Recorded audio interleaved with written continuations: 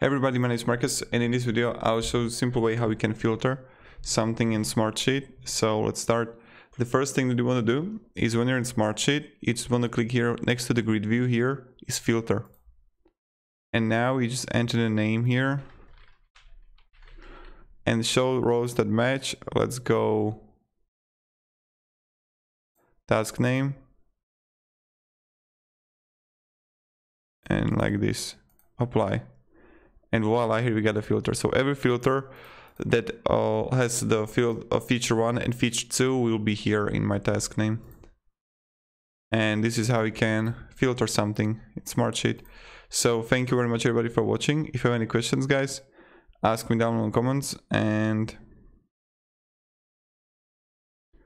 yep have a great day and goodbye. See ya